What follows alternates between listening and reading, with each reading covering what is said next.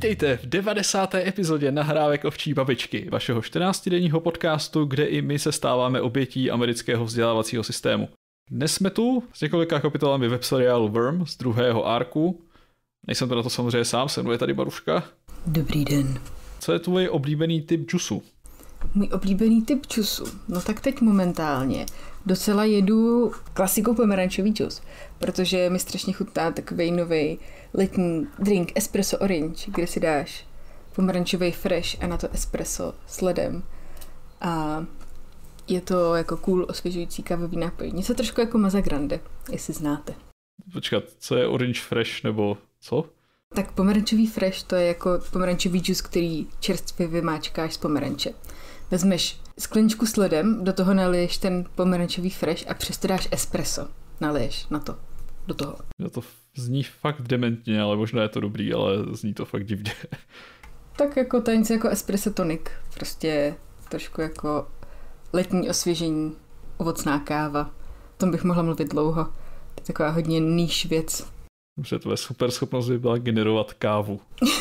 ale jenom hodně divný Bruce. to je fair enough.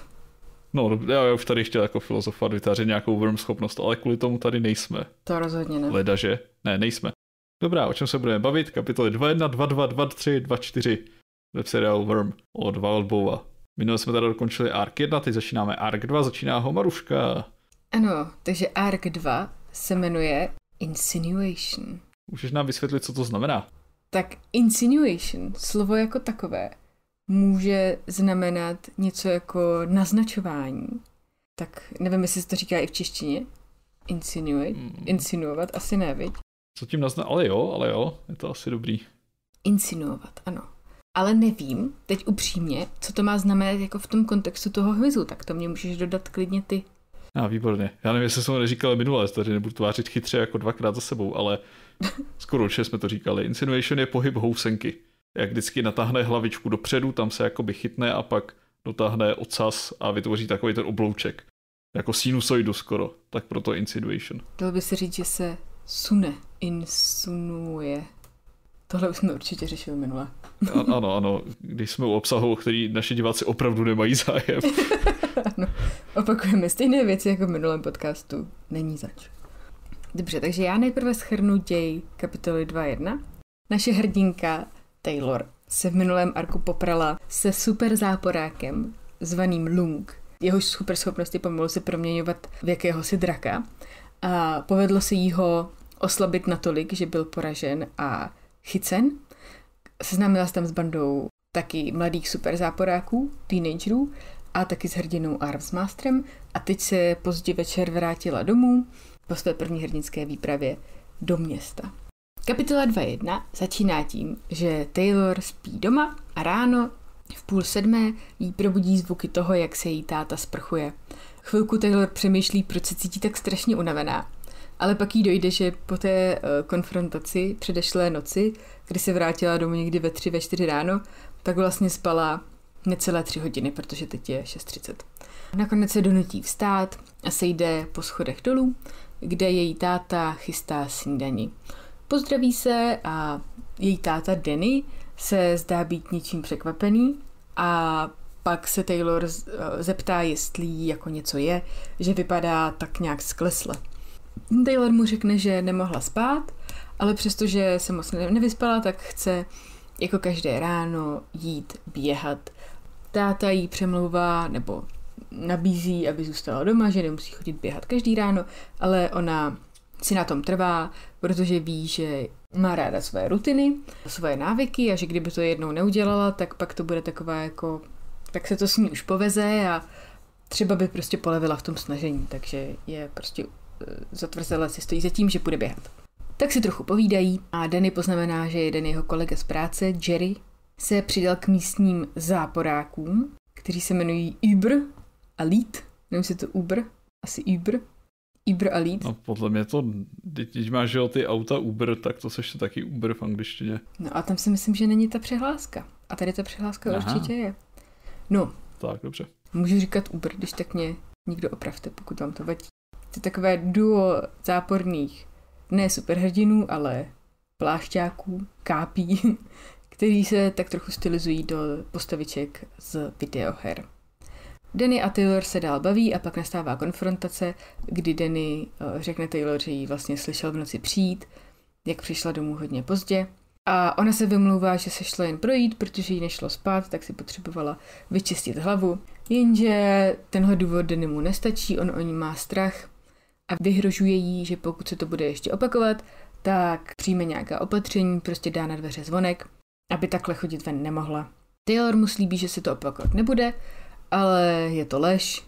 Ve skutečnosti jen, si jen udělá takovou mental note, že do budoucna musí být prostě opatrnější, aby ten táta neslyšel, aby ne, nes, nestoupala na rozvezaná prkna a podobně.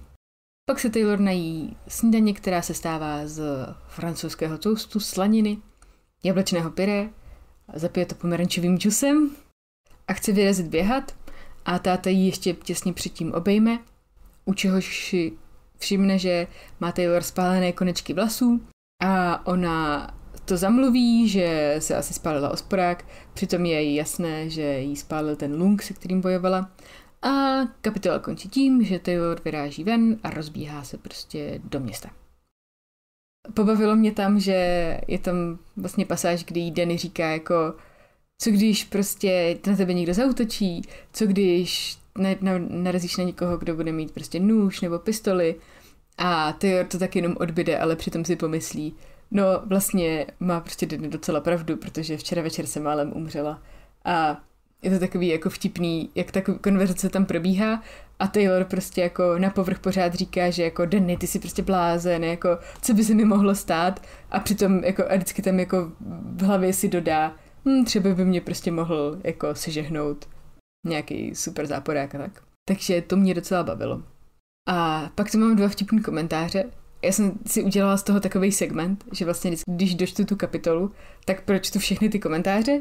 Začíná to být dost těžký, protože jich je čím dál víc. Předtím jich bylo třeba 20 a teď u poslední kapitoly už jich bylo jako 90. A některý jsou hodně dlouhý, takže už jako nečtu úplně všechny. Ale snažím se vždycky vybrat nějaký, jako co mě pobavil. A tady třeba uživatel Dreadnoughtful napsal v roce 2015, že se mu ten příběh strašně, strašně líbí a že píše, že píše Wildbowovi, že pokud by ten příběh někomu prodal, tak by určitě mohl vydělat miliony. A pak je tam, pak je tam taková věta, je tam Trust me on that, I've read over 400 different books in the past six years alone. I know hmm. what's good and what isn't, and this is very, very good. tak mě to trošku pobavilo. Vždycky je dobré slyšet od expertů. Ano, ano, přesně. Expert Dreadnoughtful za posledních 6 let přečetl 400 knížek a ví, co je dobré a tohle je dobré. Takže tady jste to slyšeli první. Rád bych měl čas na to přečíst 400 knížek za 6 let. A tak když to vidělíš, tak to není tak hrozně, tak jedna za týden, ne? I když ne, to, to je, je asi víc. pravda. To je fér. Já, já, jako, já, vím, já vím, že vždycky řeknu, jako ano, rád bych četl víc, ale já čtu Wild Bowa, čili já v podstatě jako možná přečetl ekvivalent 400 knížek za poslední 6 let. No, jasně. Takže jsem na sebe drsný. Já si myslím, že jo. Jako myslím si, že čteš hodně. Takže uh, buď na sebe vlastně hrdý. Také si myslím, že čteš hodně. Jsme oba dobrý čtenáři. Jo, to si žádné. Já si myslím, že jako čtu celkem málo a, a snažím se jako to vylepšit, no. Já bych přečíst třeba, nevím. Jsi na sebe příliš přísná. 20 knížek za rok, kdyby to šlo. To by mi přišlo jako adekvátní s tím, že jako hodně pracuju. Není na to tolik času.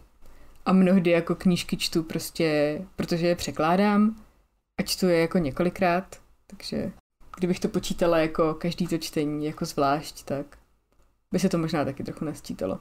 Tak jo, máš k téhle kapitole nějaké postřehy? Ano. Ten pocit na začátku, kdy se člověk probouzí brzo ráno, tak to mám jako velmi, jako řeklo by se, viscerální reakci, nevím, jak to přeložit vůbec. Uh, to Bytostnou reakci. Mm-hmm.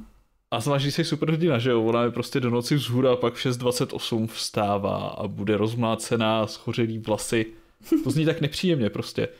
Jo, to Ale jo. jako by patří to k tomu žánru. Samozřejmě máš Batmana, že jo, Batman has no limits. Tam je ta hezká scéna, když vstane z postele a hned spadne na zem a začne dělat kliky.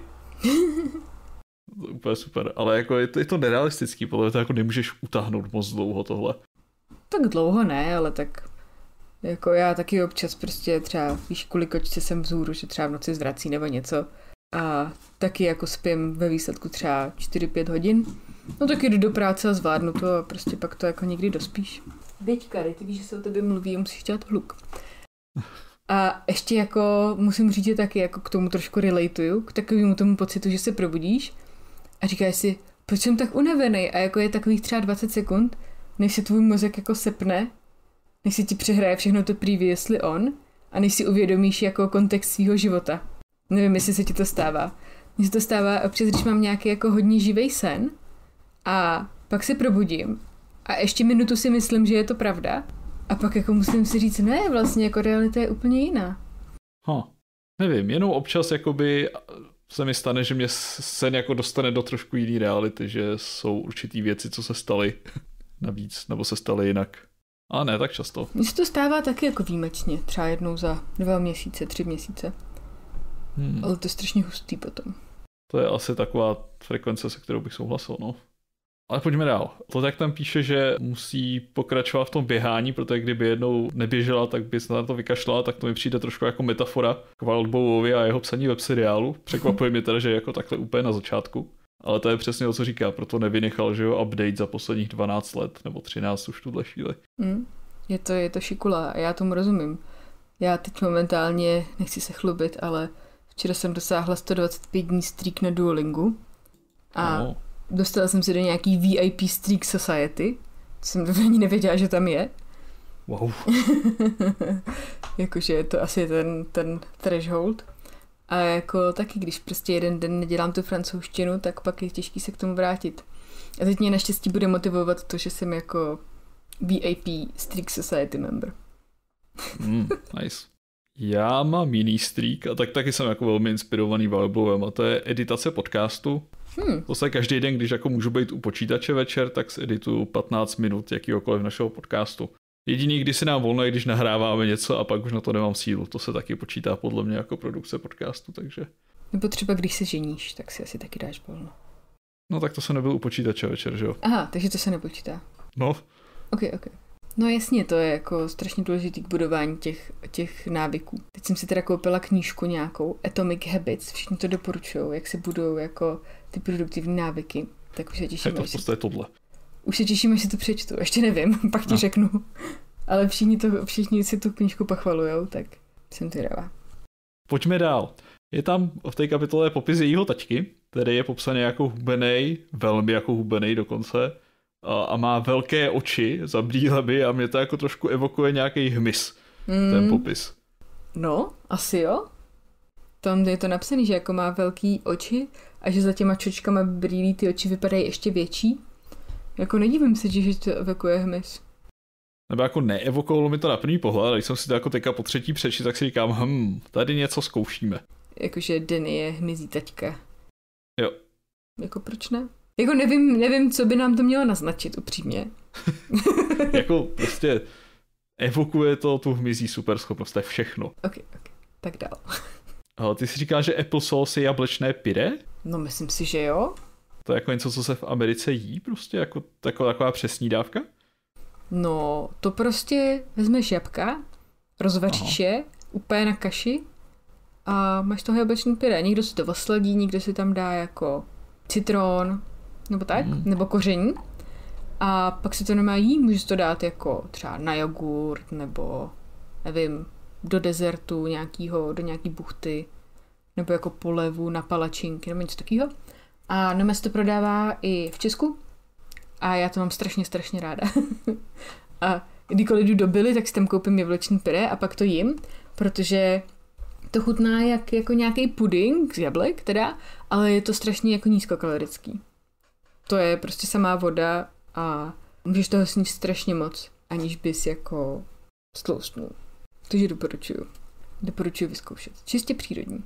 A nebo si můžete udělat doma vlastní, až zase, až se bude podzim, nějaký známý ti nacpe jabka, Mm-hmm. Tak, dobrý tip. Jo, takže rozvařím a udělám. Ale to, to vlastně není špatný, protože ano, obvykle dostáváme strašnou hromadu jablek. No, no si vygoogli pak nějaký recept, oni jakoby... No, to by asi šlo, to je fajn.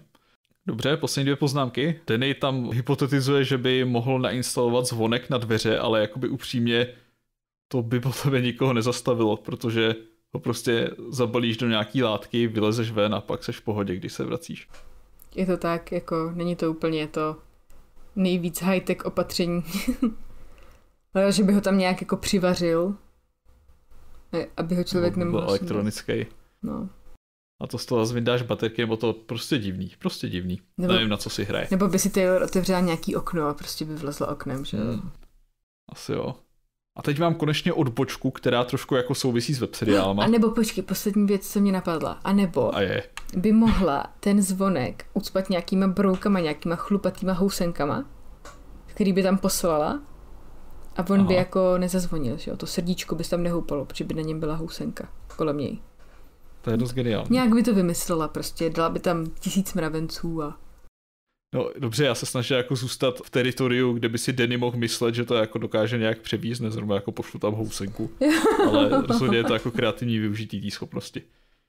Děkuji. To jako body za to. No, povídej. Mojí odbočkou je trošku o web seriálech. Já teda nečtu jen seriály od Wildbova, nebo respektive jako čtu, ale dostanu se k tomu, proč jsem asi jenom dvě další fikce na internetu. Jedna byla Harry Potter and the Methods of Rationality, což mi vlastně k Wormu přivedlo, o tom jsem možná mluvil. To úplně jako není skvělý. A, a pak teda jsem ještě vyzkoušel Practical Guide to Evil, což je jakoby mezi tím Parahumans komunitou jedno z těch jako vyhlášenějších webseriálů, který už taky běží strašně dlouho. Má být jako skoro na té samé úrovni, ale jeden rozdíl jakoby, budou dva rozdíly, ten druhý řeknu až eh, v kapitole 2.4, myslím, ale ten první je, co se týče expozice, co se týče toho, jak vlastně jakoby autor, který není úplně profesionální a není editovaný, pracuje s těma informačníma uh, infodumpama, kdy prostě jako musíš těm čtenářům předat informaci. A myslím si, že to je jako velmi těžký zvládnout, když jsi na to sám, a tady jsem chtěl vyzvednout Wildbova, protože to dělá krásně. Tady je jeden odstaveček, kde Taylor přemýšlí o tom, jak její otec je součástí té asociace pracovníků v docích. Mm-hmm. A jsou to jenom dvě věty, prostě fakt maličký odstaveček. Dozvíme se z nich ale strašně moc a příběh okamžitě potom pokračuje. A ten důvod, proč jsem zmiňoval ty dva další webseriály, nebo hlavně ten Practical Guide, protože to jsem četl nedávno a jako v jistém bodě jsem si řekl a dost, to prostě není zábava, tak tam je v podstatě dialog mezi postavama, velmi podobný tomhle tomu, ale postava něco řekne. Hrdinka se zamyslí. Teďka tři odstavce expozice o něčem prostě plný těch fantazy názvů, že jo, abys prostě jako ten svět byl vybudovaný, aby to bylo nějak napojený, to ten infodam skončí. A další postava řekne další větu. A hrdinka se zase zamyslí na několik odstavců a zase prostě nám popisuje nějakou geopolitiku, historii, Hmm. A tím pádem teda ten autor tam vyhodí jako stovky různých informací, detailů o postavách a zemích a já jsem se dočetl docela daleko v tom web seriálu, se odvážím říct, aspoň jako nemůžeš, 60 kapitol. Můžeš pak pamatovat jako. No právě, to je to, to je to, kam to vedu. A po těch 60 kapitolách jenom třeba jako 5% těch background infodump věcí, detailů bylo využitých v tom příběhu. Ostatní tam prostě byly hozený, aby jakoby ten autor buď tam dal nějaký filler, protože to má promyšlený a je to pro něj snadný napsat a ne posouvat ten příběh. Mm-hmm. A nebo protože je to ten jakoby symptom, že ten příběh píšeš jenom kvůli tomu, aby tam mohl být ten world building. Že je to vlastně primární. A obojí mi přijde špatně. No, jako, tak. já myslím, že jsme si to strašně chválili prostě v tom prvním nebo druhém Wormcastu. Že je tam ta expozice opravdu jako dobře zapletená. A že je prostě vždycky udělaná, udělaná zajímavě. Že jako u toho Wormu nemám prostě ten pocit jako expozice kvůli expozici, ale já myslím si, že je fakt šikovnej, no. A nechci už se to tady stokrát opakovat, ale snadno se to čte. Jo, jo. Mně napadlo, že mám jako dvojtej point proti ostatním webseriálům, tak jsem to řekl. Mm-hmm. No ne. Já tedy jako webseriály nečtu. Dřív jsem teda čítávala strašně moc fanfiků, což teda byly jako v mnohdy taky webseriály třeba o 300 kapitolách, ale to se vůbec jakoby nedá srovnávat. Třeba ten Hopomore je samozřejmě taky fanfic, ale to je jako jiná liga než ty fanfiky, co jsem četla já, které se týkaly třeba čeho teď? Kriminálky Las Vegas nebo oh, yeah. uh, Sherlocka a doktora Who. Občas i v crossoveru. Uh, nebo Prison Breaku. oh, yeah. Takže nemůžu bohužel moc jako přispět do té diskuze o web seriálech.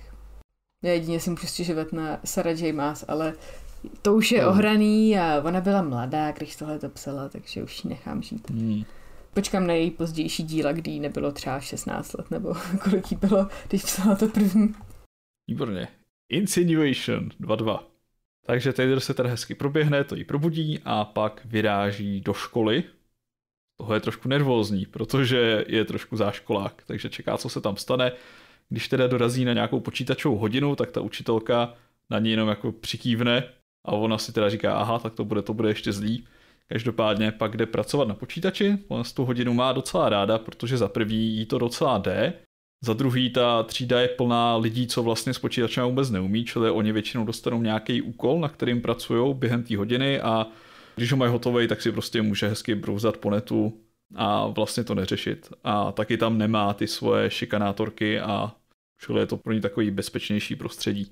Tak a kam teda Taylor zamíří, ještě teda předtím, než udělá ten, ten úkol, co má dělat, je Perehumans Online, což je nějaký fórum týkající se superhrdinů, a kde jsou teda messageboardy, novinky, prostě nějaká wiki o, o těch superhrdinech a superzáporácích a je to prý fakt velký.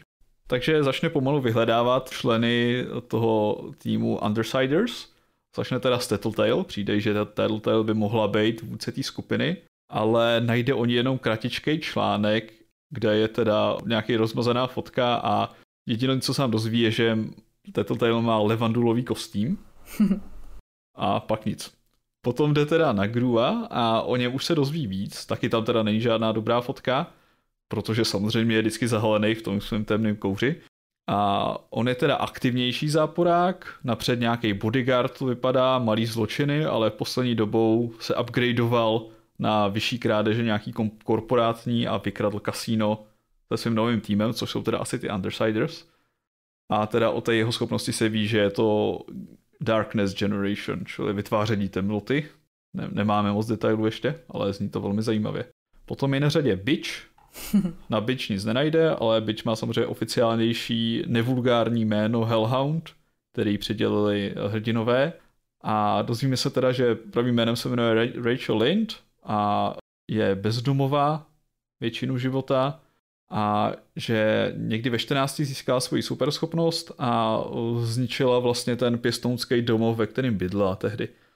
A dozvíme se i přesně, jak vypadá, že Taylor by nenazvala jako hezkou, prostě taková hodně tvrdá, řekněme.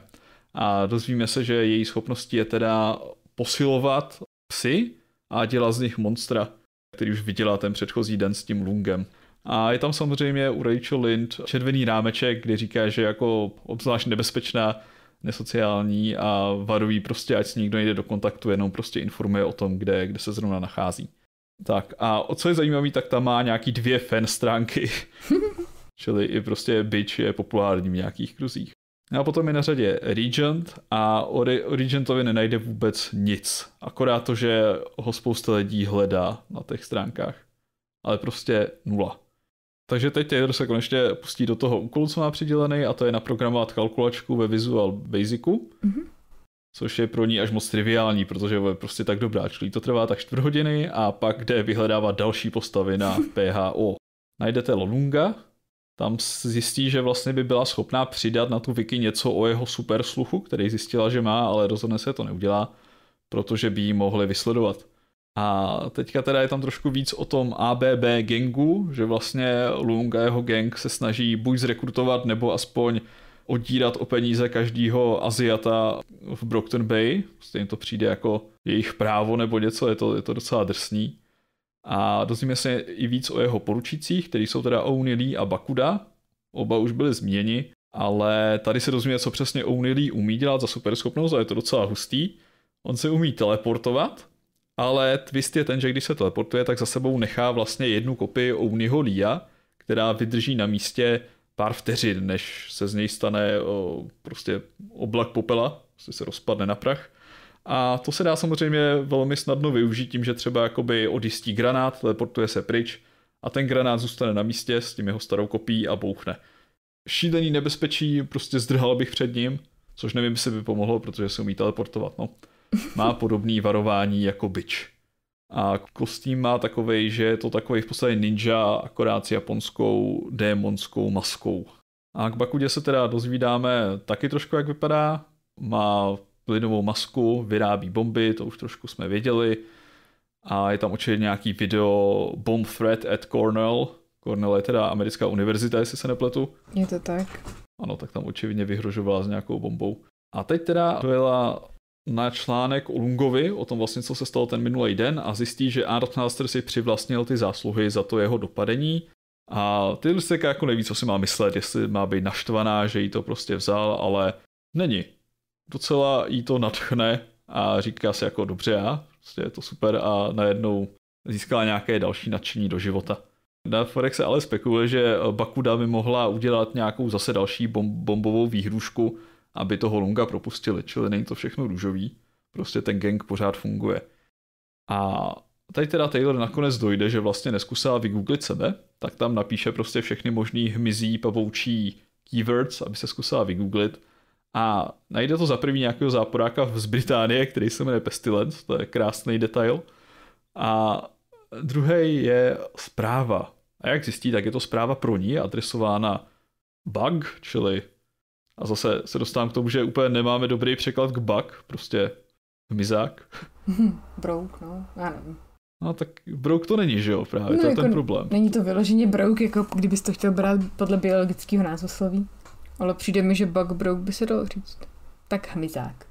Asi jo, že bug jsou prostě i motýly, že jo, komáři o tom, tomu bys brouk neřekla, je to, je to, je to drsný. Hmm.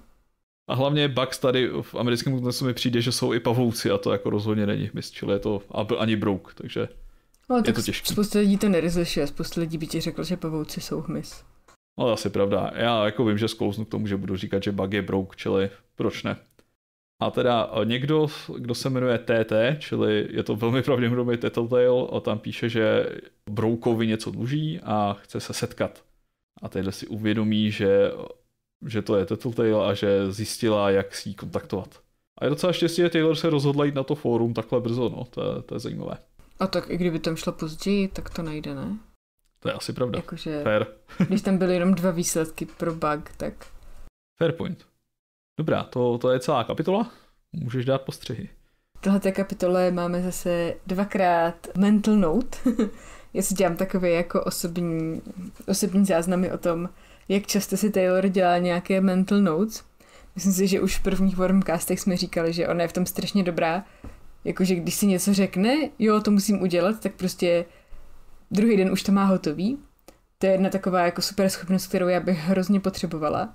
Protože já si vždycky řeknu, yes. jo, jo, až přijdu domů, tak musím udělat tohle. A vůbec to neudělám a další den jsem zase v práci a říkám si, oh, ty jo, až když přijdu domů, tak už musím udělat tohle. A pak si na to zase nespomenu. Takhle posílám už jeden dopis asi čtyři týdny, i když už měl být dávno poslaný. Ale já fakt jako já to vůbec nemyslím zle, já prostě si na to vždycky řeknu, hej, to musím udělat, prostě já to udělám, až přijdu domů. A pak mm. můj mozek vůbec mi to nepřipomene. No, každopádně, já, povídej. Já mám upgradeovanou verzi toho problému. Já jsem velmi dobrý ohledně dělání těch mentálních seznamů. Většinou, když jakoby někde jsem třeba v práci a říkám si, doma musím udělat tyhle tři věci, pak přijdu domů a vzpomenu si na dvě, udělám dvě a vím, že je tam třetí, ale nejsem si schopný vzpomenout, co to bylo, takže pak počkám další den, než si to můj mozek uvědomí zase v práci. Hmm. Většinou je to ta nejdůležitější samozřejmě. Já si to musím psát, tyhle ty věci, no. Hmm. Taky mám třeba, když jdu, my máme docela daleko drogerii od bytu, takže vždycky, když jako se mi nastřádají nějaký věci, co mi dojdou a jsou do drogerie, tak si to buď napíšu. Protože když si dělám ten No musím si to napsat, protože když si dělám ten mentální seznam, tak třeba vím, že si chci koupit prostě make-up, deodorant a hlavně prostě šampon. A pak přijdu, koupím tam ten make-up a deodorant a jdu úplně nadšená domů, že jako jsem došla do toho DMK a pak další den mi dojde, že tu nejdůležitější věc jsem nekoupila. No.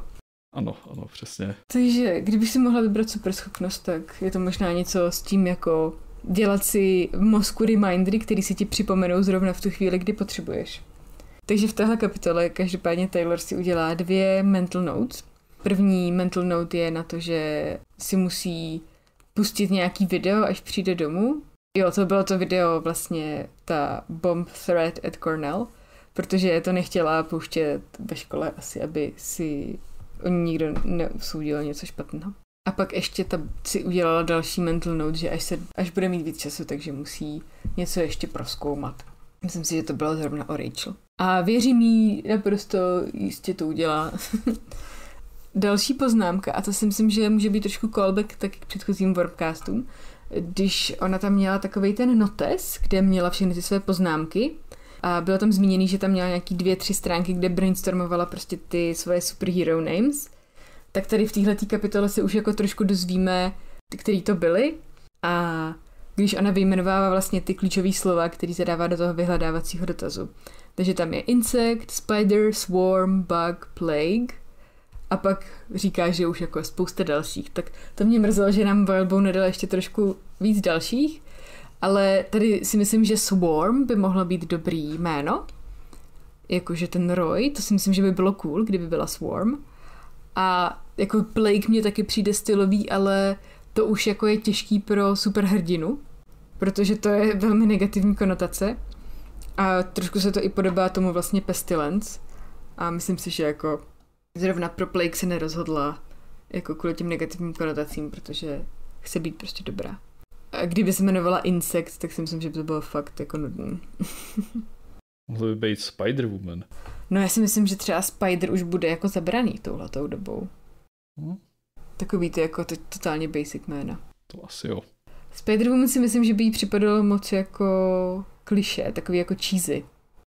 Jo, to jako souhlas, no. Hmm. No, tak to byla taky moje poznámka. No a potom, když se posunu k těm komentářům, tak pod touhletou kapitolou bylo strašně moc kontroverzi. Jakože takový prostě jako skandál, jo. Protože ta, jak ona je na té hodině počítačů, tak tam má tu paní učitelku a teď nevím, jak se jmenuje. Knop. Paní Knop, nebo slečna? Knot, aha. V té původní verzi, kterou už si teď nepřečteme, protože Wildbow to smazal, tak byl nějaký jako popis té paní učitelky, samozřejmě očima Taylor, kdy ona si z ní dělala jako velmi jako, označovala jí tak jako nepříjemně, nebo popisovala jí, tak, jí tak jako nepříjemně, že tak trošku naznačovala, že jako ta žena, že je moc mužná a nevím, jestli jako chtěla naznačovat, že je prostě transgender nebo tak něco. A, a hodně lidí v těch komentářích to bralo jako dost špatně. Někteří lidi tam psali věci typu, že tenhle příběh se mi strašně líbil, ale když jsem viděl ten jako hnusný, prostě transfobní popis té učitelky, tak už jako to nechci číst a tak. A Wildbow se proti tomu bránil, říkal, že jako to nejsou jeho názory, že je to prostě perspektiva Taylor a že prostě reálně ne všichni lidi budou mít prostě vždycky korektní názory, že je to jako realistický. A taky tam píše pak dalšímu člověku, že jako pokud si ten typ, který mu tyhle ty věci vadí a který mu vadí, že v příběhu lidi se dívají na svět různýma perspektivama a že ty perspektivy jsou občas nepříjemný, takže tenhle příběh možná jako není přímo pro tebe a že jako citlivější čtenáře varoval hned na začátku, že doporučuje, aby když tak ten jeho příběh přeskočili, ale pak později tu kapitolu editoval a tohle ty, tyhle tu pasáž úplně odebral. Můžeš ale, když si ty komentáře prohlídneš všechny, tak se k ní eh, dostaneš, protože ji tam někdo cituje, takže si ji můžeš přečíst, jaká byla původně. No, je to, je to docela drsný, no. Takže tam bylo trošku controversy. A tím moje eh, poznámky končí. Jsem se chtěl zeptat, co doprčit znamená homeroom, protože tam se píše, že Taylor dorazila do homeroomu, ale pak tam najednou jsou počítače, tak jakoby, co to doprčit znamená? No, to je nějaká prostě americk, američtina. Oni mají jako nějakou svoji domácí třídu prostě. Homeroom, kam budou vždycky ráno. A pak eh, chodí mezi jako třídama. Tam totiž to není tak, že by oni měli třídu, ale každý učitel má svoji třídu. A ten učitel se nehýbá a oni jako chodí, chodí mezi třídama a ten učitel zůstává ve stejné místnosti. Homeroom is a form of brief administrative period that occurs in a classroom assigned to a student. To je asi něco jako taková třídnická hodina. Podle mě oni jako přijdou ráno, sejdou se v nějaký, nějakým homeroomu, kde mají toho svého homeroom teachera. Ten jako zaznamená, že přijde, vyřeší s nima třeba nějaký prostě organizační věci. Nevím, jestli to souvisí s tím, jako jak oni mají assembly, protože že jo, děcka v Americe prostě vždycky ráno přijdou a musí se schromážit a musí odrecitovat přísahu v lajce a pak teprve jdou jako na hodiny. Oh, wow. Což je... Zní jako signifikantní ztráta času.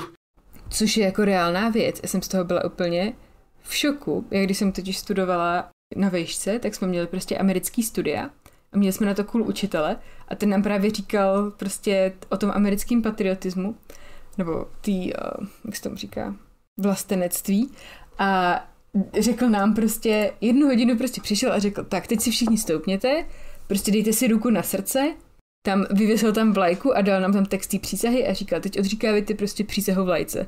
A my se tam odříkávali a připadali jsme si prostě strašně jako divně. divně a tak. Takže tím chci říct, že Homeroom bude prostě součást uh, tady toho systému, kdy oni, jako oni ne, nemají totiž třídu, že jo.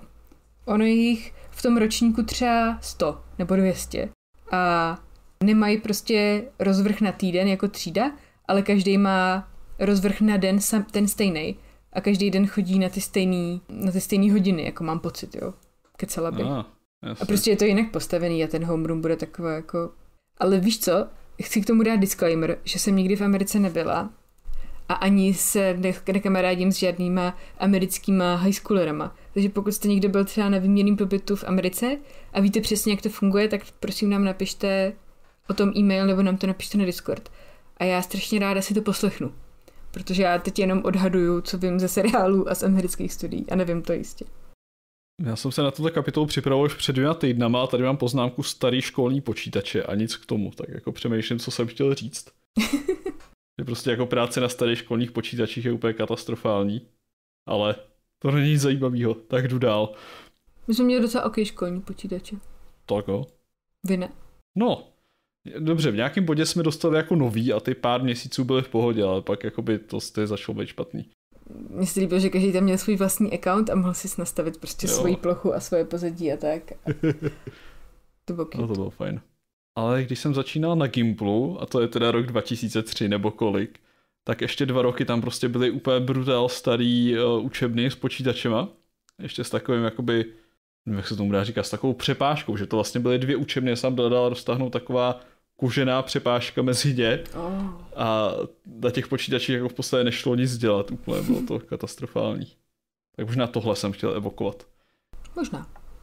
Dnes už si to podle mě jako mladší člověk nepředstaví ani, jaká to byla hruza.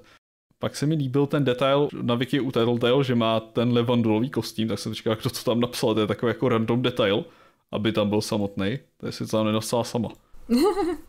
Možná, ona má docela ráda módu, hmm. tak třeba tam ně, někdo napsal, že, že má černý kostým a na to musí jít opravit. Takový headcanon, že prostě se urazila, jako oh, jak si někdo může myslet, že je to prostě černá, nebo že je to modrá. To je samozřejmě levandulová, to přece je jasný. A přepsal to tam. A to je všechno. Ještě bychom teda možná se měli pokusit přeložit to jméno Pestilence toho britského hrdiny. To je nějaká jako nákaza? Asi otevřu Lingeu. Tak super. Mor, zhoubná smrtící nákaza, morová nákaza, zhoubný zkázenosný vliv, vliv, zhoubnost. Uh. Třeba morová rána by to mohla být. Zhouba. Mm. Nádhera, můžeš na dva, tři. Mm-hmm. Taylor se na tu zprávu od Tattletale nestihne moc zamyslet, protože musí běžet na další hodinu. Ta hodina jsou něco jako World Studies, prostě asi něco jako my jsme měli občanku. Eh, s panem Gledlim. No a když Taylor jde do třídy, tak zjistí, že jedna její šikanátorka Madison a nějaký další holky jí její obvyklou židli polili džusem. Už zas ten džus prostě. A ještě schválně pod tu židli dali prázdnou flašku, aby jako to bylo jako vyloženě haha, podívej, flaška od džusu. A Taylor si teda musí sednout jinam, než si obvykle srává. Což jí jako otráví, ale jako zažila i horší věci, takže tak jako přejde. A začíná hodina. Pan Gledley jim zadá práci ve skupinkách, že se mají pobavit o tom, jak vypracovali domácí úkol a jeden ze skupinky pak to bude muset odprezentovat před celou třídou.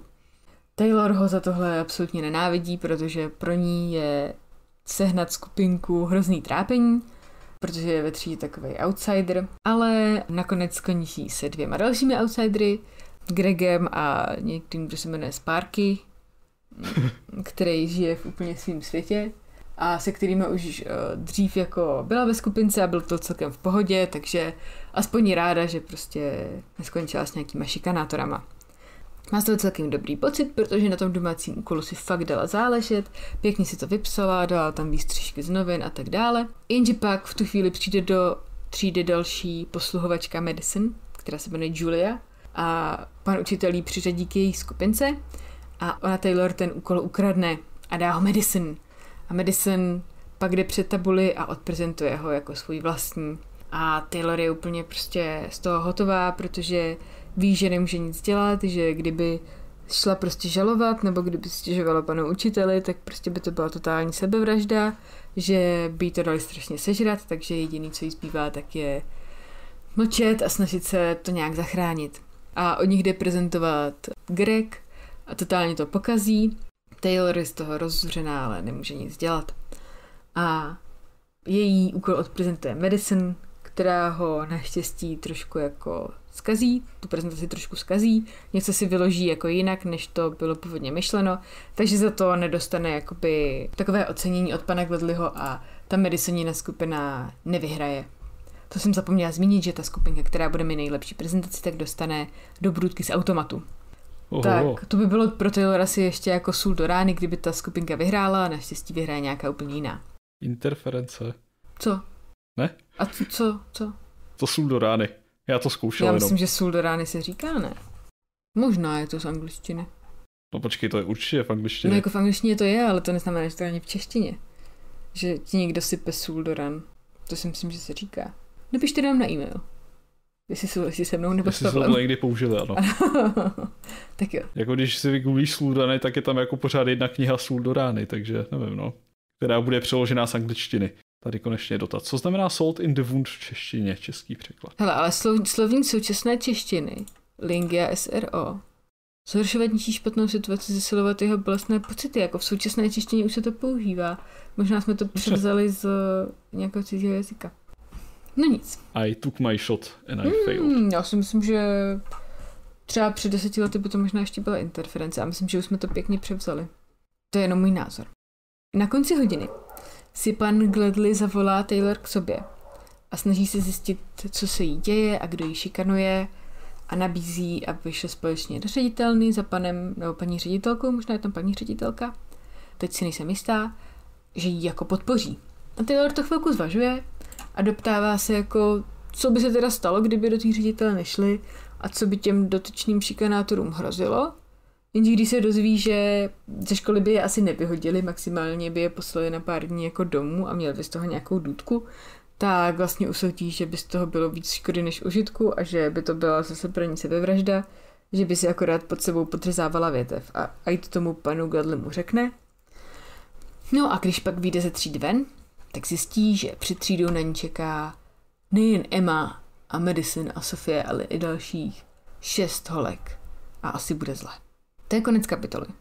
Chtěla bych říct, že úplně ze začátku mě zarazilo, že eh, když Taylor vlastně jde za panem Gledlim, že ztratila učebnici, kterou jí podle se mimochodem v minulých kapitolách, tak on jí řekne, že náhradní učebnice stojí 35 dolarů. A teď vlastně, když jsem si to rychle vygooglila, tak je to něco přes 800 korun. A jednu učebnici. A říkala jsem si, to je hrozný. Ale potom, když jsem přišla do komentářů k té kapitole, tak lidi z Ameriky si tam naopak stěžovali, že je to strašně málo a že kdyby to byla jako reálná situace, že ta učebnice stojí nejméně prostě 80 dolarů nebo 70 dolarů.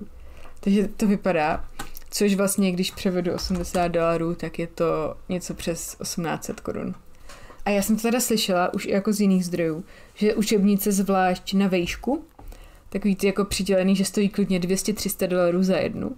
A to je, jsou šílený prachy a lidi to jako různě obchází tím, že si je jako stahujou nebo si je kopírujou a tak, protože si to prostě absolutně nemůžou dovolit tu fyzickou učebnici. Ale ono to je nejen tohle stop to, co jsem četl, jakoby, že ten profesor vždycky vydá jakoby aktualizovanou verzi každý rok, aby se to nedalo prostě vypirátit nikde. A opravdu si to musel koupit každý rok plný počet studentů.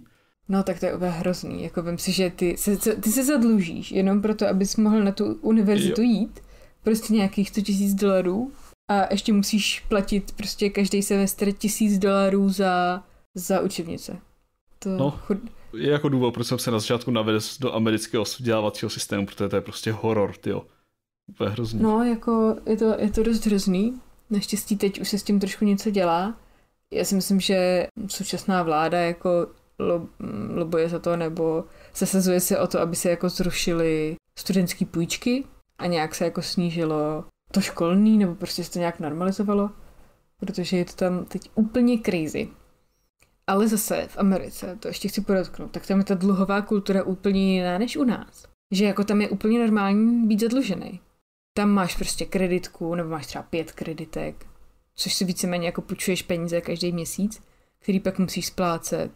Je normální mít půjčku na auto, prostě hypotéku a k tomu ještě studentský půjčky a jako nevím, jestli ten systém jim to třeba jako jinak neumožňuje, je to tam prostě tak udělaný, ale úplně mě to děsí, protože já strašně nesnáším někomu něco dlužit, i když je, i když je to jako malinko. A nedokážu si představit, že bych jako musela žít celý svůj život s vědomím, že prostě někde dlužím jako několik milionů. Ale musím prostě jít dál. Já jsem taky jako na netu chytil někde na Redditu, podle mě, jak přesně jako ty kreditky, už právě na té střední škole, že tam máš jakoby stánky a strašně výhodně to těm lidem jakoby dají, že čím víc jakoby utratí na ty kreditky, tak dostanou že bonusy, peníze extra a takhle tě chytí prostě. To, je to úplně nehorázný. A tam jako to není vnímaný jako takový zlo, protože u nás jako v Česku se to vnímá jako strašně zlo, ale oni to vnímají jako úplně normální věc. Že jako se ti v obchodě ptají vždycky, jestli budeš platit jako normální debitní kartou nebo kreditní kartou. Hmm. Jiná kultura. Velmi. Jako je mi jich no. líto spíš než cokoliv jiného prostě. No, taky souhlasím, no. Tak a teď zase můj komentářový segment.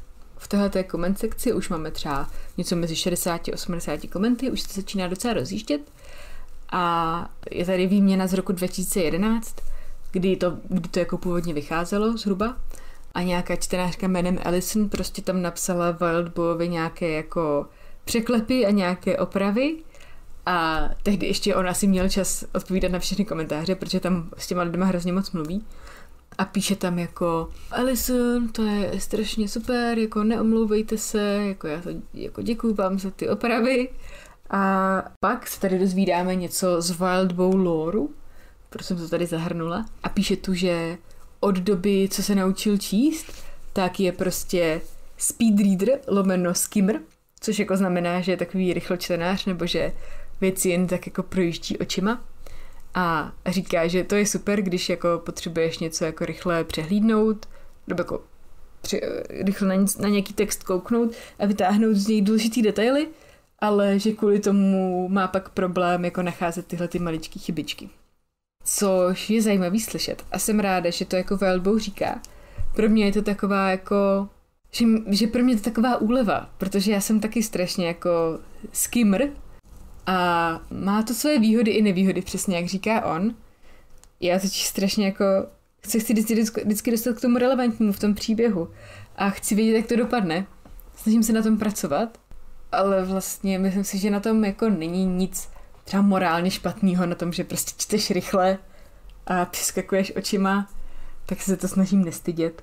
A jsem ráda, že jako Wildbow je jeden z nás speedreaderů. Nebo nechci si říkat speedreader, nevím, jestli čtu extra rychle, ale přeskakuju. Jakoby já si oficiálně omluvám, že jsem si za to s tebe dělal srandu. Podle mě je to jako užitečný skill.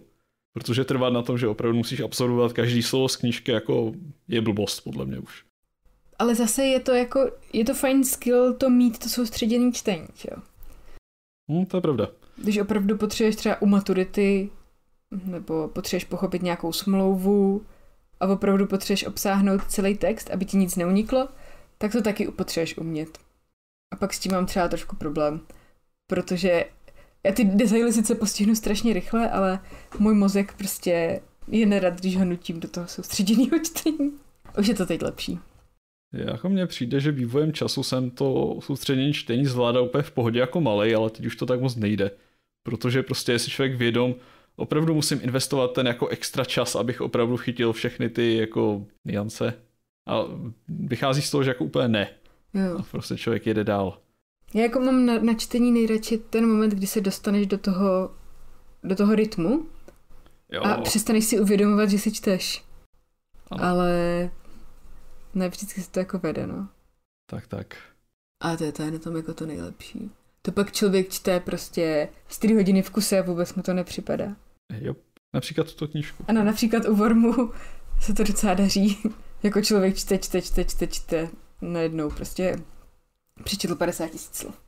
A ještě mám jednu poznámku. A to, že v téhle kapitole a pak v té další, tak se lidi začínají strašně jakoby opírat do Wildbowa za to, jak, jaká je Taylor slaboška, že se prostě těm lidem nebrání. A jsou tam prostě desítky komentářů typu prostě, kdybych já byl Taylor, tak už jsem jim prostě poslal vši do vlasů, nebo prostě vosy do uší, nebo prostě, protože aspoň nenechá poštípat komárama a tak. A lidi o tom strašně moc debatujou, že jako by to zase prostě pro ní byla slippery slope, že už by se pak neudržela, že by to jako byl v konfliktu s tím, že chce být hrdinkou a tak. A pak je tady někdo jako napsal nějaký komentář, co se jmenuje Shay v roce 2014, napsal I can't wait until she fights back. I can't stand weak characters.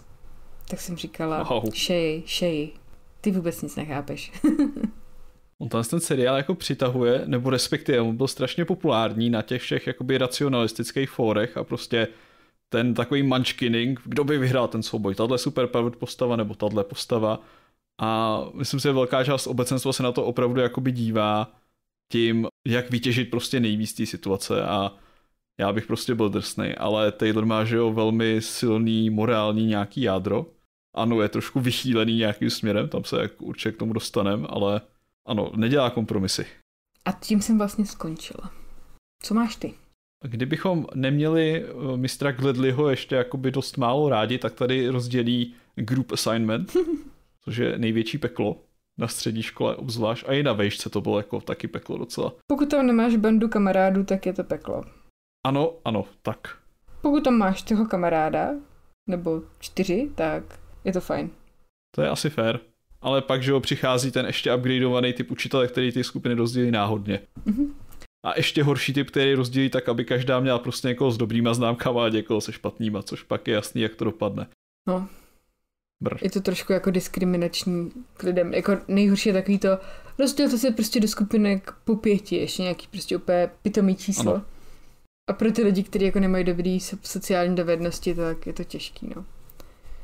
Jako my potom s holkama jsme seděli jako vždycky nás šest pohromadě, takže jsme se většinou jako spárovali nebo se skupinkovali spolu, ale úplně chápu, jako, proč to celé vadí. Jako na výšce jsem s tím taky měla problém, no. Je, na, vý, na výšce jakoby mě to tak štvalo, že prostě nějaký lidi jsou prostě nekompetentní v tomhle a nedají do toho všechno, kdyby jako člověk chtěl do toho dát všechno, což já jsem si jakoby řekl, nebudu, nebudu overperformovat, nepotahnu je a prostě bude to, jak to bude. Ale je to prostě úplně dementní, podle mě, ten systém group assignmentů. A víc argumentů nemám.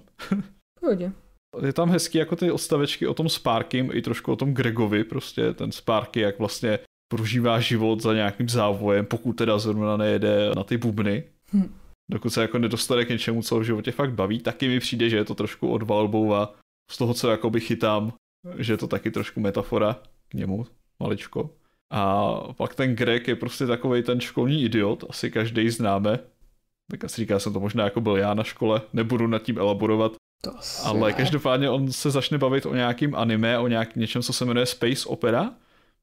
A zase detail o Wildbowovi, on teďka, když skončil Ward, což je pokračování Vermu, tak nadhazoval, že by možná udělal něco v tom žánru Space Opera. Jsem si říkal, tyjo, to bude tak hustý. On teda udělal Pale a Pale je taky skvělý, ale těším se, až někdy udělá opravdu něco v tom sci-fi žánru. To, to bude super. Já úplně nechápu jako ten koncept space opery. Jako opera je to, že je to jako hudební, nebo... Ne, ne, space opera je třeba Battlestar Galactica. Skvělý příklad. No to jo, ale jako proč je to... Že jsou to prostě jako vztahy lidí ve vesmíru. Že to prostě není sci-fi jenom o vědě mi přijde, ale že tam jakoby nějaký příběh o lidech v tom. Hmm. Takže tak, opera... Nevím, proč se to tak jmenuje. Má to být asi ze soap opery, si myslím. Jo, takhle. Aha, tak to, to už mi dává smysl. Tak, ale jako jenom typuju, možná jsem někde něco pochytil, ale aktivně jsem si to nikdy neresearchoval. Uh, jo, jo, to bude soap opera. Jo, jo, jo. It's a play on the term soap opera and horse opera. Which was coined during the 1930s to indicate a cliché and formulaic western film Aha, takže není jenom soap opera, ale i horse opera, což je telenovela s kov kovbojema. Good to know. Wow. Ne, to je spíš nějaký kliše, Dallas? kliše western. No, vlastně chápu. Já s westernem vůbec nemám takový kontakt, abych dokázal o tom žádnou něco říct. Ty slavné westernovky jsem ani jednu podle mě neviděl celou nikdy. Jenom prostě co člověk chytí jako malý v televizi, protože rodiče říkají, hej, Old Shatterhand tam je tu. Já říkám, jo, to je vlastně docela nuda ten film, je mi šest, co proč mi to pouštíte? A tak no. Já znám westerny jenom z takových těch parodí v Kačerově Donaldovi a tak. No jo, a to je pravda. A to je kvalitní. I když přijdeš do toho salúnu a pak tam prostřelí ty dveře, prostřelí ti ten klobouk a pak řeknu, tohle město je pro nás dva moc malý. a pak ti někde v poušti umře kůň. A tak. Westernová epizoda Community teda by se asi dala počítat. Jako takový to, ten paintball? Ten paintball. Jo. Jo. Hm. No, no, no, tak tam budou přesně ty kliše. přesný. Právě. Teď uvidíme, kdo je atraktivnější. Já se to nepamatuju asi. Jo, v pořádku. Uh, doporučuji rewatch. A já samozřejmě teďka hraju Red Dead Redemption 2, což je takový asi western, ale přijde mi, že rozhodně ne Hej, já jsem to rewatchovala asi před měsícem, community. Oh, ok. Ale tam je tolik dobrých hlášek, že občas mám problém se zařadit do kontextu. Proč mu říká Black Rider, na ničem nejede? Ah, to dobrý. Poslední diskuzní otázka, aby to jako bylo zase vážnější. Tady na konci se teda Gladly snaží Taylor nějak pomoct. To se asi objektivně dá říct, že jo, ale ona ho úplně zahodí prostě, protože jí přijde za A, že to k ničemu nepovede a za B, že to ani nemyslí vážně úplně. Že to takový jako half effort. Myslím si, že to jí přijde až v té příští kapitole. Že, jakoby, tady si myslím, že ona to reálně na chvilku jako zvažuje. Říká si, hej, jako, že je třeba trošku ráda, že si o ní někdo zajímá, ale ona se pak jako doptává a zjistí, že ta pomoc by jí vůbec nepomohla, tak jako je jasný, že to odmítne, ona je jako chytrá, racionální a ví, že by to akorát ty holky prostě vyhodnotily tak, že na ně žalovala a ještě se prostě do ní víc opřeli. A že dokud ona si není jistá, že prostě z toho budou mít reální následky, tak jako se neodváží, no. Je to smutný, ale jako rozumím tomu, no. ta, ta její motivace, že nevěří, že by jí ten systém mohl pomoct, to se táhne celým příběhem, já už to určitě zmiňoval, ale tady se jako spíš soustředím na toho Gledliho prostě, jak to jde z jeho pohledu. Tak oni snad taky musí Ale to pochopit. možná v kontextu té další kapitoly, možná počkám s tím. Hmm. No právě tam ještě se to jako vyvine, že jo, s ním. Dobře, tak pojďme do 2.4. To je velice jednoduchá kapitola. V podstatě Taylor je in media res a ty holky obklopují, vrážejí do ní, každá si prostě přisadí nějakou hlášku nebo smočí, jak by řekl Medek, který. A Taylor teda eh, hodnotí tu situaci jako, že je to zároveň strašně nedospělý a zároveň strašně plausible deniability, což člověk dosáhnout jenom při šikaně na, na střední škole. A ten její monolog je prostě krásný vnitřní, když ta situace je úplně šílená. A teda ty holky do ní strkají a ona vidí, jak ta Emma tam stojí v tom pozadí a jako dívá se, haha. A Taylor teda jakoby, jak je její zvykem, chladně analyzuje tu situaci, že vlastně ty poznámky ani nejsou moc chytrý, ani jako nejsou přesně mířený nebo něco, co by jí mělo zranit, jde prostě o to, o tu repetici a o to, že ji prostě nenechají nenechaj chvíli klidu, nenechají zareagovat a jak je to ubíjející. A tohle je vlastně situace, která se očivně stala poprvé, čili vypadá to, ty holky postupně jakoby klesají k čím dát tím hloupějším formám šikany, který ale pořád fungují, protože je to ten social tlak a to prostě bude fungovat. A Taylor tady zase opakuje své důvody, proč nebude bojovat zpátky, protože by oni dostali nějakou satisfakci a vyhráli by tak jako tak stejně. Bohužel. Nadávky pokračují a teďka se teda stane to, na co jsem narážel předtím, kdy pan Gledley vyjde z té učebny, podívá se na Taylor a ty holky mezi tím pořád do ní střílejí ty poznámky a on se na ní podívá smutně a odejde z té situace, aniž by cokoliv udělal. A Taylor je z toho úplně šokovaná, protože cože? A, a teďka neví, co si má myslet. A podle mě čtenář taky úplně neví, co si má myslet. Já jsem z toho taky zmatený dosud. A ty holky prostě pokračují a nic se jim nestalo. Teď Taylor uvažuje o tom, co kdyby byli úplně všichni kluci, že prostě by je mohla zkusit zmátit, sice ano, by skončila na zemi zmácená, ale aspoň by jim to trošku vrátila a situace by byla nějak ukončená, ale že s holkama to tak prostě nefunguje. Kdyby něco udělala, tak Emma by okamžitě šla žalovat, protože je rozdíl mezi tím, když žaluje ta top cool holka a když žaluje šikanovaná Taylor, že Emě by to prostě prošlo a Taylor by byla ještě víc šikanovaná do budoucna. Taylor tak asi začíná říkat, že ty poznámky jsou čím dál tím horší kvality a že to teda každou chvíli skončí. A Emma si to nejspíš taky uvědomuje a proto vypálí na ní poznámku, jestli je Taylor tak smutná, že bude usínat s brekem celý týden. A to Taylor zasahne do nejcitlivějšího místa. A teď se teda dostáváme do nějakého flashbacku, co se vlastně stalo. Ona v nějakém bodě byla s nejlepší kamarádkou Emou u nich doma a teď jim přišel telefonát od jejího taťky, že jeho, její maminka se zabila v autonehodě a Taylor si mlhavě pamatuje, jak prostě všichni brečeli a bylo to hrozný, ale aspoň měla tu Emu na její straně sympatickou. Pak tam jsou nějaký záblesky, že její otec byl strašně naštvený na tu maminku, že SMS-kovala při řízení a kvůli tomu umřela a víme, že její tačka umí být jako naštvaný, takže se do ní jakoby takhle pustil a ona to slyšela. Dokonce jí pět dní skoro nedal jídlo a musela jí zachránit právě Emma a její rodina a nakonec se dostali teda s taťkou do nějaký rutiny, aby mohli fungovat a už měsíc potom vlastně byla docela v pohodě a tam vlastně se jí Emma svěřila, když jedli nějaký donuty a kafe, což je zajímavý. Oni si koupili kafe a byli docela mladí, teďka to tam jako chytám z toho textu, ale Amerika. A Emma teda jí vyjádří jako nějaký obdiv za to, jak rychle jste Taylor dostala z té strašné situace a Taylor tam přizná, že právě ten celý týden každý večer brečela před spaním a to jakoby jí strašně rozesmutní, ale aspoň tam má tu emu, čili prostě brečí až do večera. Je tam řečení tak, že ta káva mezi tím vychladne. No a teďka Emma vytáhla tuhle tu strašně zraňující věc a Taylor na ní to samozřejmě funguje, protože není bez srdce a rozbrečí se na místě, což vyvolá takovou tu klasickou šikanózní reakci. Haha, ona brečí prostě, což tě většinou uvrhne do ještě horšího stavu. Možná znám, neznám z vlastní zkušenosti. A nějaká z těch kolegů dokonce řekne, je to jako super schopnost emo, což je úplně brutální.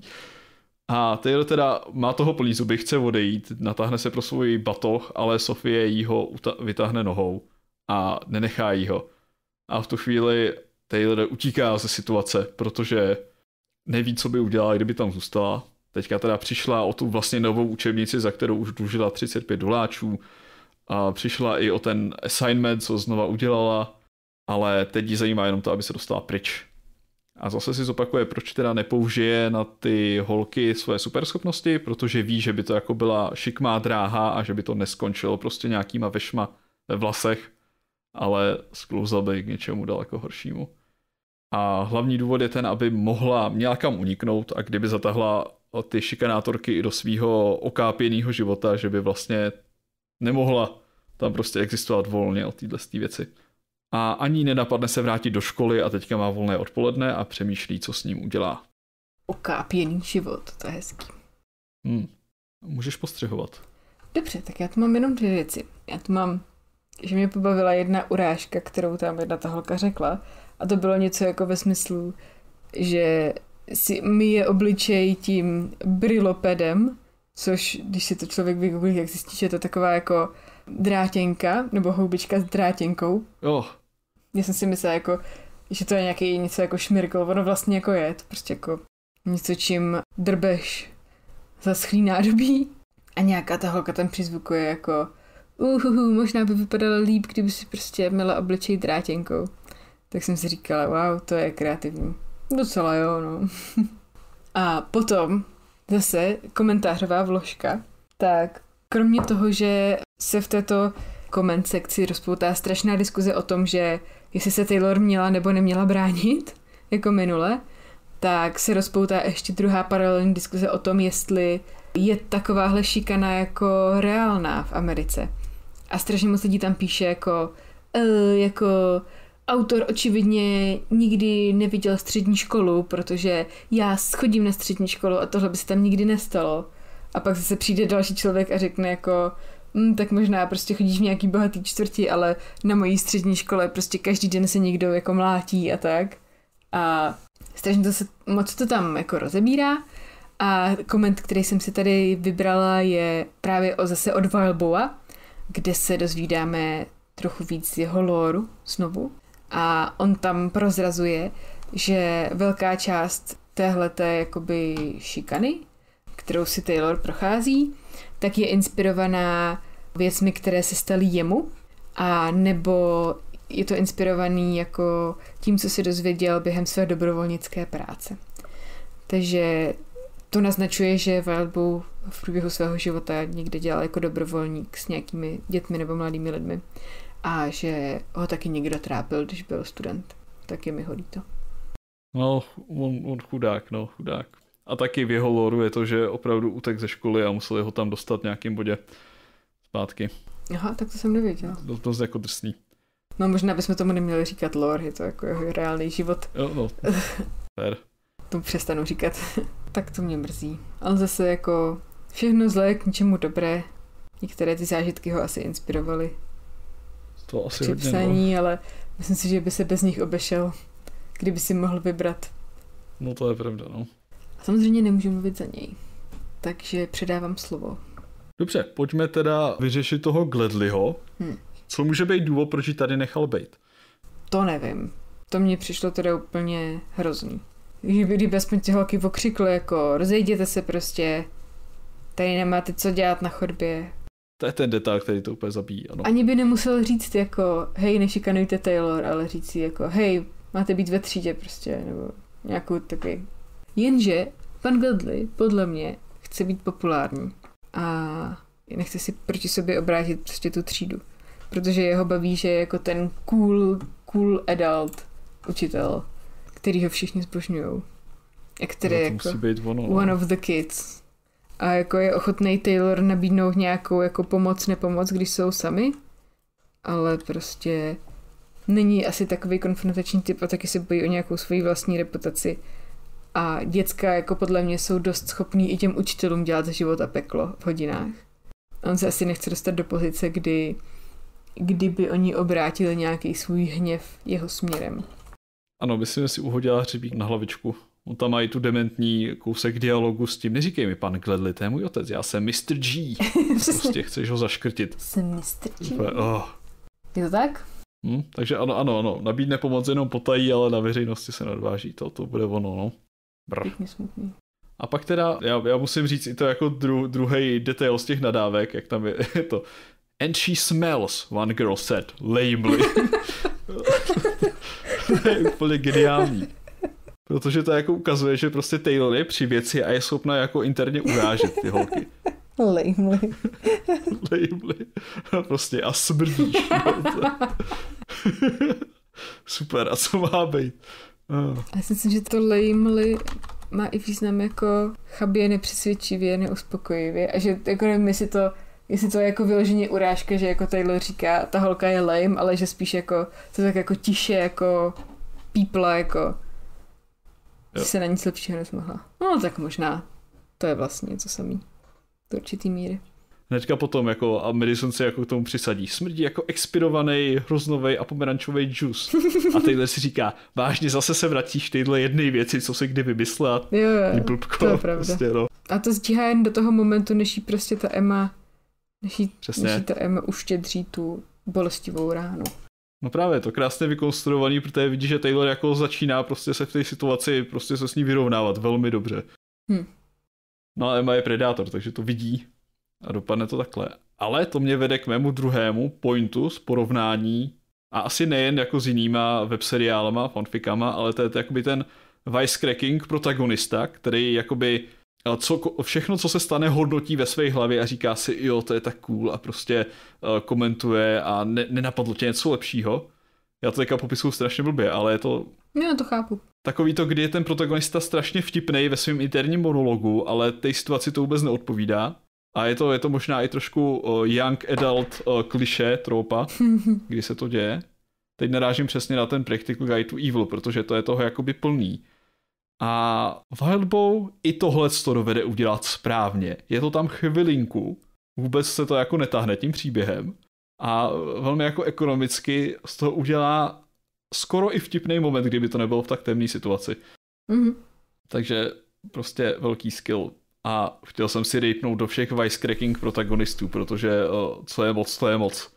V nějakém bodě už se to nedá. Naštěstí už takových věcí moc, moc nečtu, takže si to nedokážu Tak, úplně jako vybavit. Vzpomněla jsem si akorát na My Immortal. Ale Major to je špatný příklad tohoto. To je špatný příklad všeho, kromě trollingu. tak, tak. Dobře, dál.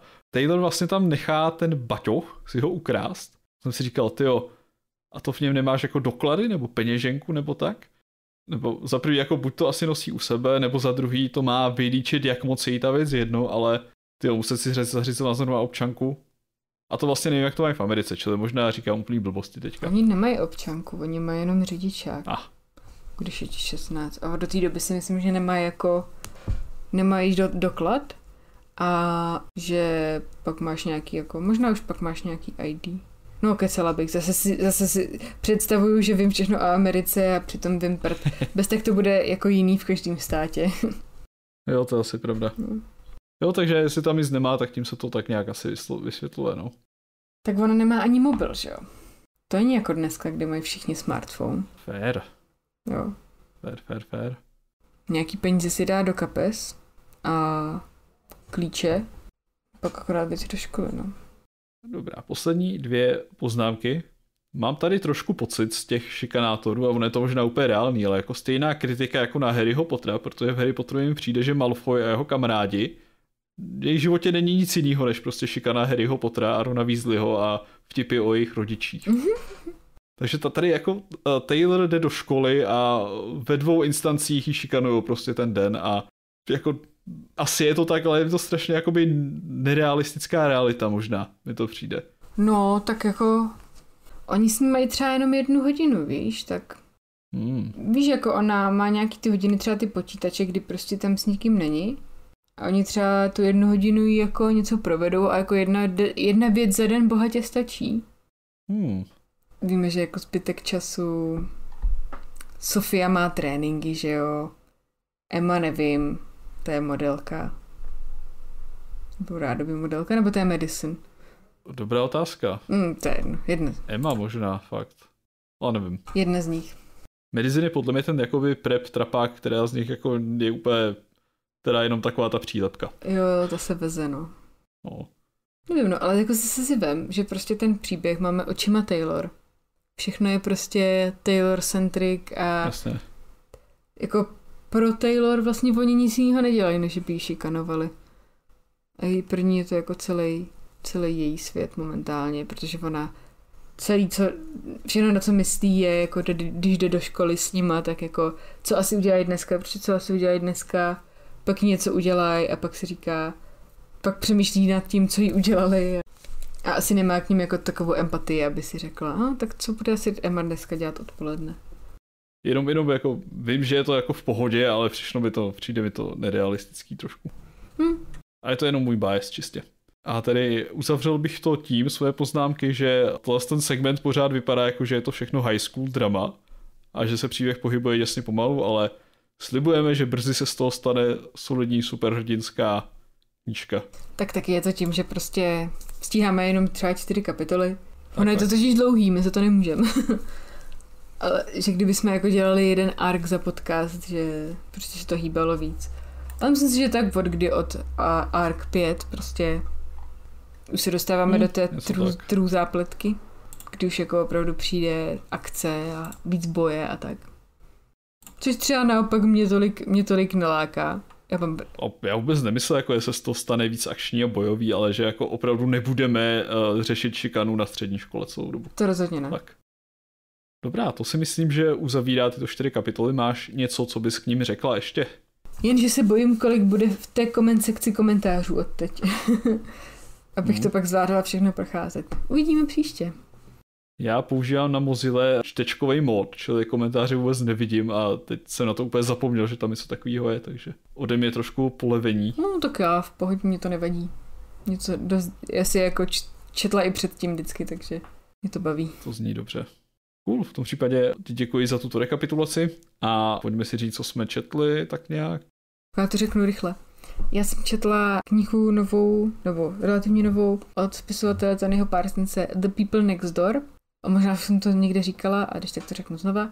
Je to fajnový thriller, detektivní mystery a zároveň vztahová věc. Tenhle ten autor jakoby rád píše o lidech, co jsou ve vztahu, jako manželé většinou, nebo rodiny, který se potýkají s nějakou jako dramatickou událostí a hodně jako proskoumavá, jak to ovlivňuje ten jejich manželský vztah. Takže zajímavý. Ale teda není to pro slabší povahy. Žádná ta jeho knižka, to, to spíš jako v tom různé vraždy a konspirace a tak. Různé psychologické třeba vydírání, jako nepříjem, nepříjemné věci. Tohle ta knižka je docela zajímavá tím, že oni se přestěhují do takové jako odlehlé vesnické komunity a myslí si, že jako jeho jejich život už bude idylický, ale ta komunita prostě má určitý tajemství. Nebudu přesazovat. Teď dočítám šestý díl skleněného trůnu s mm. tím, že protože tam se to v jednom, v té druhé půlce knihy to dělí na dvě zápletky, ale ta jedna zápletka mě absolutně nezajímá, takže jsem si našla na Google recap té jedné zápletky a tu přeskakuju a čtu jenom tu první. Takže to docela jde, no. Docela tomu pomáhá i to, že ten Kindle, teď co mám novej, tak má jako lepší listovací funkci, že když jako chceš listovat, že si vytáhneš takový jakoby náhled té knížky, ve kterým listuješ a prolítáváš si stránky a pak si to teprve potvrdíš nebo nepotvrdíš. Že můžeš jako nahlížet rychle do předchozích stránek, ale třeba nestratit tu svoji pozici. Takže top, top, top. A pak chci číst tu knížku Atomic Habits a taky chci číst prequel k Hunger Games, který jsem si koupila, který je prý docela dobrý. A taky chci přečíst jednu knížku o fitness od svého oblíbeného fitness podcastera, který jako mluví o tom zdravém životním stylu a těch udržitelných návěcích. Ta byla vydaná dneska, tak myslím si, že mi přišla už na Kindle, tak se pak rozhodnu, čím začnu. Už se na to těším. A co si četl ty? Já mám takové divné období, kdy nevím, které knižní série se uchytit, úplně mi nechytá. Tak zkusil jsem ten Practical Guide, no zahozeno. Pak jsem si stáhnul něco, co se jmenuje, počkej. Ne, zaklínač, zaklínač je dobrý.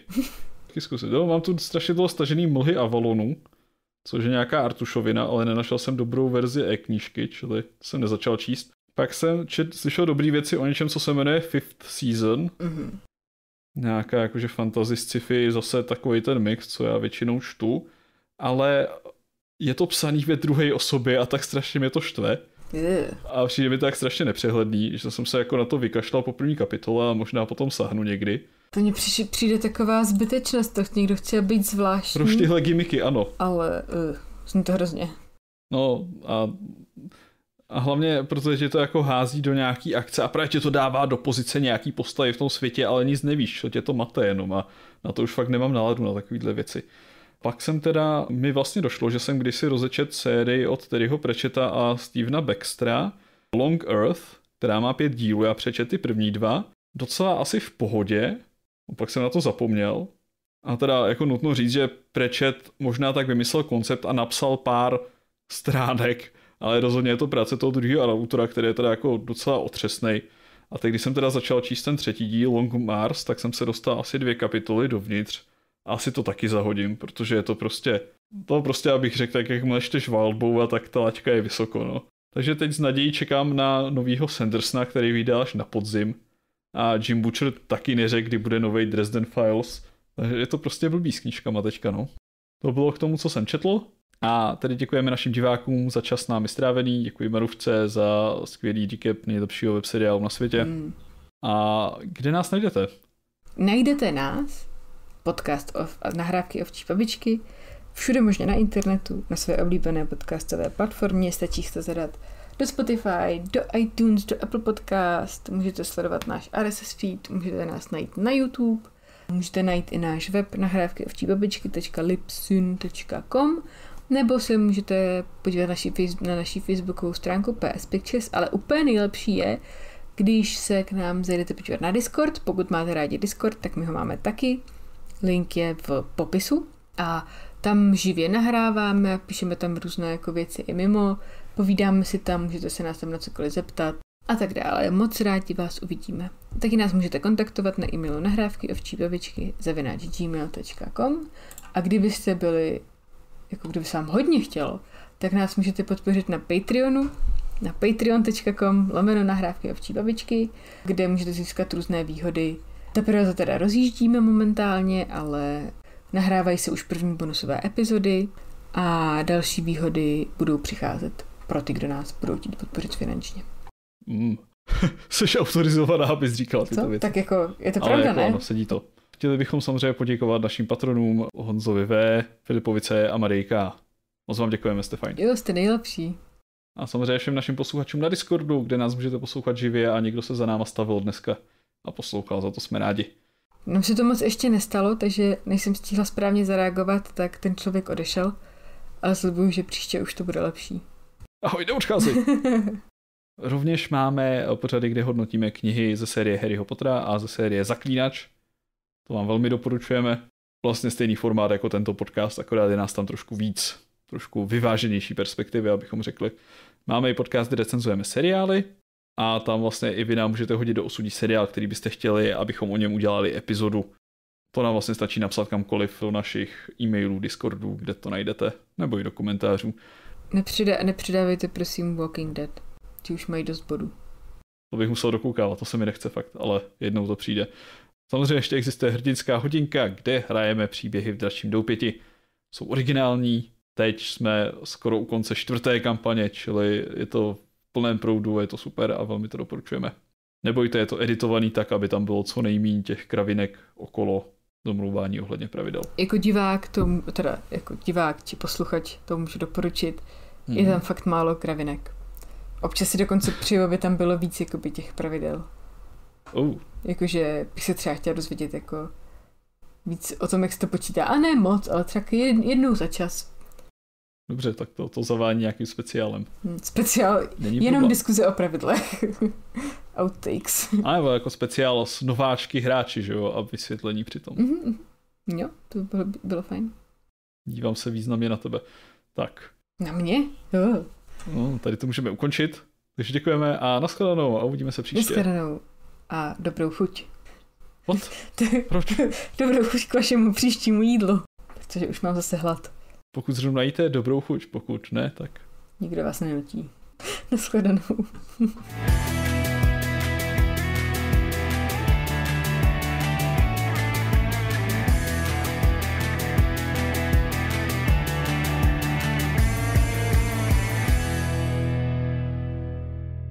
Můj nejoblíbenější džus je mimochodem hruškový, děkuji za optání.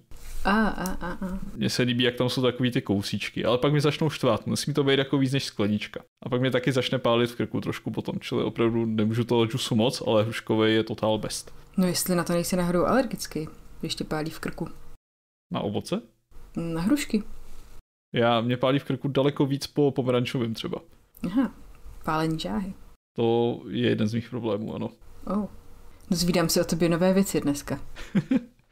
To je asi stářím. Taky jsem mě nedávno začala pálit žáha. Možná to máme v genech. Tak to je v háji. Tohle naše posluchače určitě hrozně zajímá. Já si myslím, že jo. A tohle už je nejvíc hardcore uh, část z toho podcastu, takže ano, dozvíte se i to, co jste nechtěli a nečekali. Tak v Ark 1, Van, v Ark 1 naše hrdinka Previously on Verb. Ano. Viewer discretion is advised. My name is Taylor Ebert. Uh, v minulém Several arku thousand years. vlastně se pozdě večer vrátila domů po svém prvním, po své první hrdinské výpravě do města. Hrdinské hodince. Hrdinské hodince ve městě. A kapitola 2.1. Hlavně to, to vystřihnu, to je hrozný.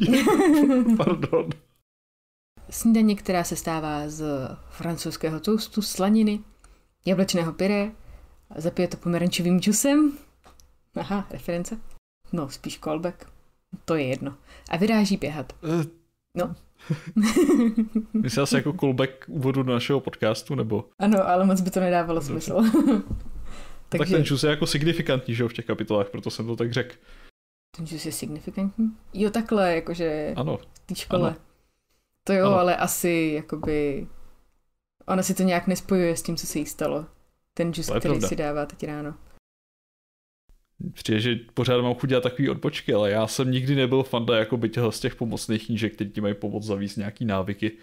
Já taky ne, ale teď ti upřímně jako poslouchám jeden podcast, prostě, a to je jako fitness podcast, jo, já jakoby se snažím nějak vylepšit životní styl, jako nějak pravidelně cvičit, prostě udržitelný návyky, vyhledat zdravá a, t- a tak dále.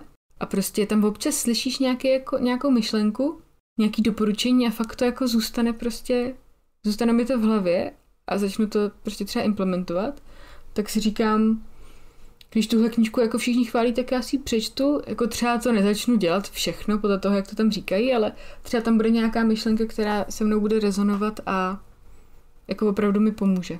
Že jsem zjistila, že takový ty zdraví návyky jako strašně zvyšují kvalitu mýho života. To, že třeba každý den chodím na procházku, nebo prostě piju vodu a jsou taky maličkosti, které se nastřádají. Mm. Tak je úplná odbočka. jsem teda udělal si chybu, že jsem si koupil mátovou šťávu nedávno, tak teďka piju vodu s, s mátou. S mátou? Jako, ale to je jako Mátový nějaký... syrup, no. Sladký syrup? Mm-hmm. No nevím, Pavle, asi nebudeš tak zdravý. Je to blbý, no. ale jestli ti můžu doporučit, a to přichám, že už je poslední věc, tak... je to vlastně katastrofa. Já jsem si začala na rohlíku kupovat matony esence a to je prostě ochucená matonka, ale není v ní žádný cukr, ani sladidla, ani jako nic, žádné kalorie. A chutná to prostě jak voda ochucená ovocem, ale s bublinkama. A jako mě to naplní mm. takovou tu potřebu pít nějakou sladkou limonádu, a, ale zároveň v tom není cukr. Takže not sponsored, mm. ale klidně mě Matony může sponsorovat. Sponsorovat. Jsem tomu otevřená. Nepište mi na mhm. nahrávky ovčí babičky gmail.com a do předmětu dejte sponsor. A když dám na ten like, Maruška vám na konci koupí uh, matonku. ano, koupím vám matonku. Já jako nemám obecně pít, uh, problém pít vodu normální, to jako vůbec není problém, ale je to blbý. Pojďme dál.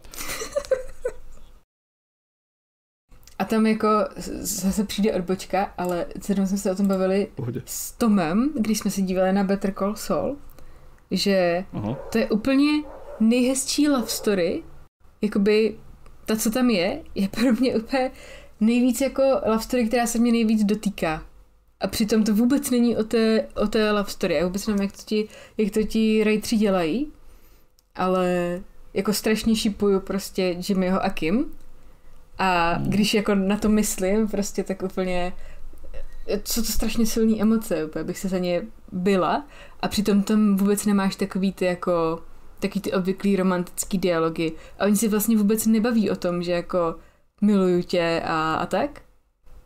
A přitom mi to přijde jako nejromantičtější. No a pak máš prostě třeba to Throne of Glass, kde opravdu zase chybí ta hloubka. Tak, tak. Nevím, jestli, jestli máš podobný to myšlenky o Better Call Saul, nebo... Mm. Já to jenom strašně šipuju. Já je asi strašně nešipuju, já už jsem to říkal v seriálním podcastu, ale Better Call Saul mě jako začíná unavovat tu vyumělkovanosti některých záběrů. Hmm. Přijde mi, že mohli by jako trošičku přidat v nějakých momentech. A pořád je to velmi kvalitní a jako ta romance podle mě funguje, když ji tam jakoby chceš vidět, tak si tam ty detailíky najdeš, protože je to prostě dobře zahraný a napsaný, ale absolutně se ten příběh na to nesoustředí, no, čili opravdu se tam můžeš jakoby možná trošku i projektovat cokoliv, co tam, co tam myslí, že by mohlo být. Hmm, hmm, hmm. Je to možné. Je, je tam určitě prostor, že jo, pro velmi různé interpretace toho vztahu. To asi jo. Teď už jako v téhle konkrétní sérii, v té nový, už ten vztah, vztah začíná jako jít třeba někam, kde se mě úplně nelíbí. Hmm. Jako prostě tím, co ty postavy dělají mimo vztah a jak se vyvíjejí, ale třeba v té předchozí sérii jsem z toho byla úplně hotová. Dobře, poslední dvě poznámky. Jak tam jsou ty dobrůdky ze školního automatu, to mi připomnělo, že jsme na škole na Jídovcovce měli automat s čokoládičkama. Jo, my jsme taky měli automat. To je celý postřeh. S čokoládičkama. No. My jsme měli jeden na čokoládičky, kde byly Starburst a Bounty a jo. Mars a tak. A pak jsme měli ten automat na Fanty, Coca-Coly a, a tyhle ty limošky. Ale ještě k tomu všemu jsme měli obchůdek. I když ten tam, tak ten, ten tam asi nebyl od Primy. A tam byla paní Růženka a tam si mohl si jít koupit matonku nebo brambůrky a tak.